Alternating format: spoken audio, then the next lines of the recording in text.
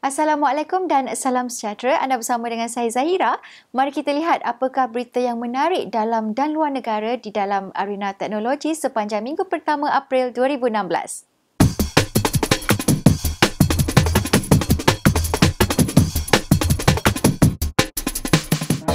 Berita minggu ini dimulakan dengan pelancaran Huawei P9 yang membawakan dua kamera 12 megapiksel di bahagian belakang dengan teknologi yang disahkan oleh Leica. Ia diperkasakan dengan skrin 5.2 inci dengan fungsi Press Touch, chip high silicon Kirin 955, pilihan memori 3 atau 4 GB RAM dan bateri 3000 mAh. Mereka juga turut memperkenalkan varian P9 Plus yang membawakan skrin 5.5 inci memori 4GB RAM dan bateri yang lebih besar iaitu 3400 mAh.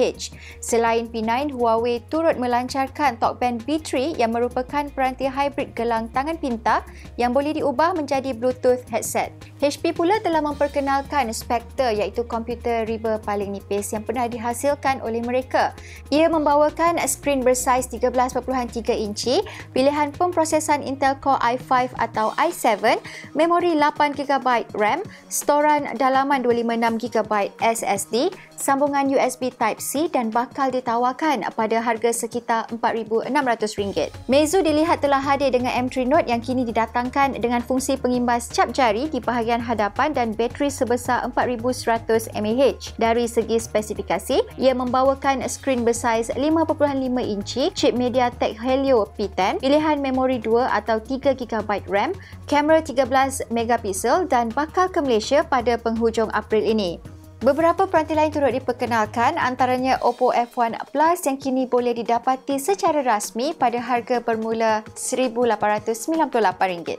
Peranti yang digelar sebagai selfie expert ini didatangkan dengan skrin bersaiz 5.5 inci, chip MediaTek Helio P10, memori 4GB RAM, Kamera hadapan 16 megapiksel dan dijana dengan Color OS 3.0. Sementara itu, Apple pula telah memperlihatkan harga iPhone SE di Malaysia yang mana boleh didapati pada harga RM1,949 untuk versi 16GB dan RM2,449 untuk versi 64GB. BlackBerry pada minggu ini dilihat telah menawarkan Android 6.0 Marshmallow Beta untuk pengguna BlackBerry Brave melalui program BlackBerry Beta Zone. Di samping itu, itu, mereka juga telah menawarkan fungsi berbayar secara percuma pada perkhidmatan BBM seperti fungsi retract dan timer untuk meningkatkan lagi sokongan privasi. Pihak Google pula telah memberikan nafas baru untuk rekaan ikon Google Play yang kini diselaraskan dengan rekaan segitiga. Mereka juga turut menawarkan YouTube Gaming di Malaysia yang merupakan perkhidmatan setempat untuk pengguna menikmati dan merakam kandungan permainan dalam bentuk video. Pada arena telekomunikasi, pihak TM telah meningkatkan harga unit Wi-Fi Advance 30 Mbps dengan harga bermula RM199 sebulan berbanding RM179 sebulan pada sebelum ini.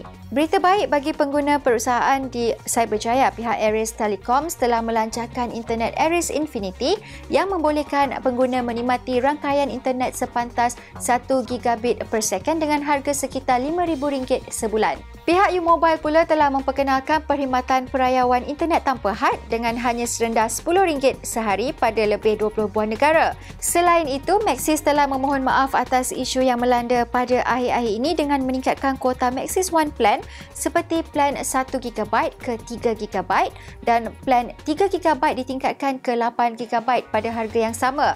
Mereka juga turut menawarkan kuota 3GB untuk semua pelanggan Maxis One Plan secara percuma untuk bulan ini sebagai tanda memohon maaf. Akhir sekali bagi yang menetap di Johor Bahru, anda kini boleh menggunakan GrabCar iaitu perkhidmatan tempahan kereta dengan pemandu untuk ke sesuatu lokasi. Satu lagi perkara menarik, WhatsApp telah mengaktifkan sokongan penyurutan bagi mengelakkan teks, gambar dan panggilan suara pengguna diakses oleh sesiapa pun termasuk agensi keselamatan maupun pekerja WhatsApp sendiri. Jadi itu adalah rangkuman berita secara ringkas daripada kami di Amans pada minggu ini. Jumpa lagi pada minggu hadapan. Be well. Bye.